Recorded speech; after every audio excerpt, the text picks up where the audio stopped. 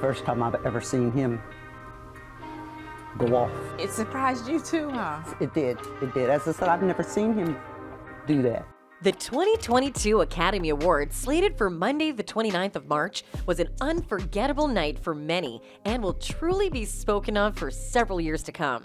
On a night regarded as one of Hollywood's biggest, the global event, which was held at the Dolby Theater, did not entirely go as planned due to an unforeseen and cringe-worthy episode that involved one Hollywood's royalty and host for the night, Chris Rock.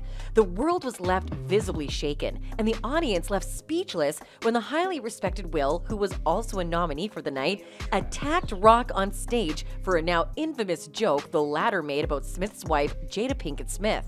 Jada, I love you.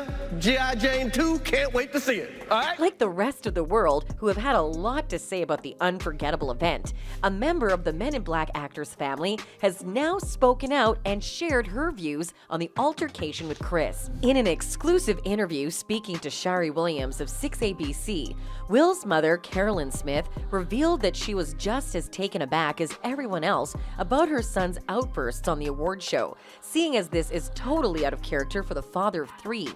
Carolyn gave a recount of the night Will won an Oscar, and let's just say she was left speechless by the end of the ceremony, as she's never seen her boy go off like he did with Chris Rock. He's a very even people person. That's the first time I've seen him go off. First time in his lifetime. I've never seen him do that, she said. Surprised you too, huh? It did. It did. As I said, I've never seen him do that. You'll recall Smith took to the stage to slap Chris on the face after the stand up comedian made a comment about being excited to watch Smith's wife, Jada Pinkett Smith, in the sequel of G.I. Jane, making reference to her baldness, just as the character in the movie is. After hitting Rock, Smith then returned to his seat and admonished Rock to keep my wife's name out of your effing mouth. The joke definitely hit a nerve, as Jada's baldness is not by choice. The actress has revealed on several occasions that she was diagnosed with alopecia, a condition that causes hair loss. Despite how the date turned out, it started with them all in high spirits and excitement to watch Will at the Academy Awards. According to the Smith matriarch, she even got up early on the said day to send a special text on the family's group chat. I started out saying, Good morning, we've got to say good luck to Uncle Will, Carolyn recalled. Of course, being Will's biggest supporters, Carolyn shared her high expectations for her superstar son in this year's nomination because she understands the incredible work he put in. I know how he works, how hard he works. I've been waiting and waiting and waiting. When I heard the name, I was just like, yes. The actor's mother states of her immense pride in watching her son win his first Oscar for his performance in King Richard. And while it may be true that Carolyn beamed with pride in her interview with the CNN affiliate WPVI, she also said how shocked she was by her son's rage.